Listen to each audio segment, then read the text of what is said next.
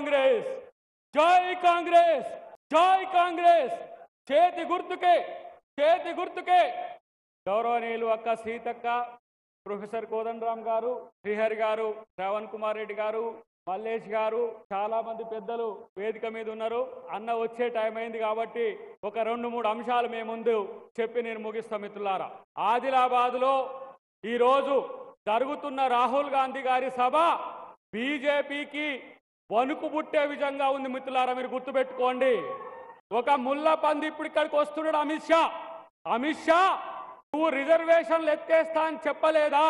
రిజర్వేషన్లు ఎత్తేస్తా అని చెప్పి ముస్లింలకు మేము రిజర్వేషన్లు ఎత్తేస్తాం. నీ పార్టీ ఓడే. ఇలా రాజ్యాంగాన్ని నేను రద్దు చేస్తా అంటున్న దరిద్రుడా? నేనంటున్నా రాజ్యాంగాన్ని రద్దు చేస్తే బీజేపీలోని పాతాళంలోకి తొక్కుడు అనే విషయాన్ని గుర్తుపెట్టుకొని మీరు అందరు కూడా. నేను అంటున్న మిత్రులారా రాముణ్ణి మొక్కుడే రాముణ్ణి మొక్కుడే బీజేపీని తొక్కుడే అనే విషయాన్ని మీరు గుర్తుపెట్టుకోరు ఎవడెప్ప సొమ్మిరా రిజర్వేషన్లు? మోడీ ఇచ్చిండా? అమిత్ షా ఇచ్చిండా? ఆర్ఎస్ఎస్ ఇచ్చిందా? బీజేపీ ఇచ్చిందా? ఇవాళ మీరు రిజర్వేషన్లు రద్దు చేస్తామంటాం. రాజశేఖర రెడ్డి గారు ఎవరికి రిజర్వేషన్లు ఇచ్చిండు? ముస్లింలలో వెనుకబడిన తరగతులకు రిజర్వేషన్లు ఇచ్చిండు. ముస్లిం రిజర్వేషన్లు ఇచ్చామని చెప్తాడు ఇటు దరిద్రుడు అమిత్ షా నేను అంటున్నా మిత్రులారా ఈరోజు వాడే మన రాష్ట్ర ముఖ్యమంత్రి మీదకి ఇవాళ పోలీసులు పంపించిండు. అమిత్ షా రేవంత్ రెడ్డి వెంట్రుక కూడా బీకలేవు గుర్తుపెట్టుకో. నీవు ఫేక్ వీడియో లక్షలు తయారు చేసిండు నీ పార్టీ. లక్షలు తయారు చేసి గాంధీ కుటుంబం మీద సోనియా గాంధీ గారి మీద కాంగ్రెస్ మీద ఇలా అబద్ధాలు చెప్పిన మీరు ఎవరో ఫేక్ వీడియో క్రియేట్ చేస్తే రేవంత్ రెడ్డి గారి మీద హోంశాఖ ఇవాళ కేసు పెడుతుంది. ఢిల్లీ పోలీసులు గాంధీ భవన్కు వస్తారు. అంటే మీరు అబద్ధాలు ఫేకులు చెప్పిన వాళ్ళు మీరైతే రేవంత్ రెడ్డి గారి మీదకి వస్తున్న పరిస్థితి మేము చూస్తున్నాం. ఒక విషయం మిత్రులారా గుర్తుపెట్టుకోండి. ఇవాళ ఇక్కడ ఇది కొమరం భీం గడ్డ. కొమరం భీం గడ్డ నిజామాన్ని తన్ని తరిమి కొట్టిన గడ్డ ఇది. ఇవాళ బీజేపీని తరిమి తరి కొట్టిన లేమో మనం ఆలోచించండి. నేను అంటున్నా ఇవాళ మేము హిందువులం మేము హిందువులం అంటున్నారు. ఏం రాముడు మీకు చిన్నయ్యా? సీత మీకు ఏమైనా చిన్నమ్మారా లేకపోతే రాముడు వంశంలో ఏమైనా పుట్టిందా మీరు?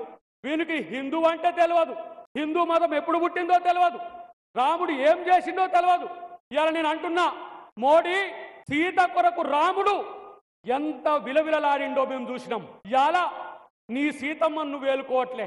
నువ్వు మొండి మోడీవి. నీ భార్యను కూడా ఏలుకోలేనివి. ఈ దేశం ఎట్లా వెళ్తావో మీరు ఆలోచించాల్సిన అవసరం ఉన్నది. ఏక్ నిరంజన్ గాడు.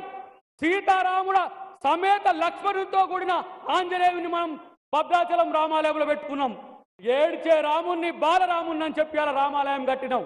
రామాలయం కట్టడమే కాదు చెప్తున్న మిత్రులారు గుర్తుపెట్టుకోండి. పక్కనే బాబ్రీ మసీద్ కూలిన ప్రాంతంలో కూడా కట్టుతున్నారు కానీ ముస్లింల మీద విషం చంపుతున్నారు ఎందుకు ముస్లింల మీద విషం చంపుతున్నారు పాకిస్తాన్కు పొమ్మంటే నా దేశం పాకిస్తాన్ కాదు నేను భారతదేశంలో పుట్టిన ఈ దేశంలో పుట్టిన ముస్లింను ఈ దేశవాసిన అన్న ముస్లిం మీద మీకు ఎందుకు రాకసి ఇంత అని చెప్తున్నా నేను ఈరోజు. నేను చెప్తున్నా గుర్తుపెట్టుకో మిత్రులారా. మోడీ అనేటోడు చేతగాని దద్దమ్మ. మోడీ అనేటోడు చేతగాని దద్దమ్మ. అమిత్ షా లాంటి లఫూట్ గాని పట్టుకొని ఇలా దేశాన్ని దోచుకుంటున్నారు. ప్రధాని అంబానీ అదాని ఈ ముగ్గురు దేశాన్ని దోచుకుంటున్నారు. తినే పప్పు మీద ఉప్పు మీద చపాతీ మీద పుల్కా మీద పెరుగు మీద ట్యాక్స్ చేసే దరిద్రులారా ఎవరిని దోచుకుంటురా మీరు? ఈ దేశంలో ఉన్న నూట ఇరవై కోట్ల మంది హిందువులను దోచుకునే దరిద్రులు వీళ్ళు.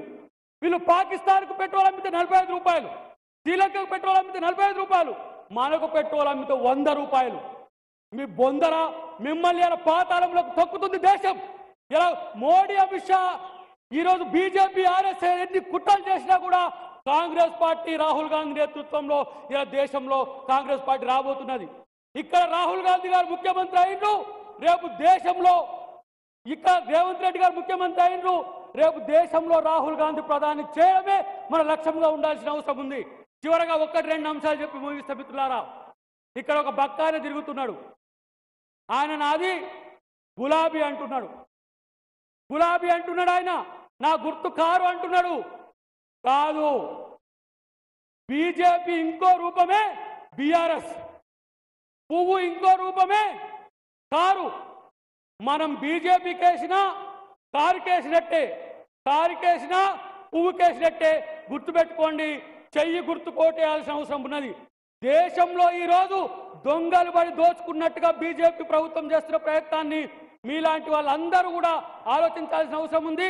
అక్క ఆత్రం సుగుణత్తకు చేయాలి మనం గెలిపించాల్సిన అవసరం ఉంది. ఈ రోజు మీరందరూ కూడా ఒక కంకణ బద్దులై కాంగ్రెస్ పార్టీకి పనిచేయాలని చెప్పి విజ్ఞప్తి చేస్తూ జై కాంగ్రెస్! జై కాంగ్రెస్! చేతి గుర్తుకే!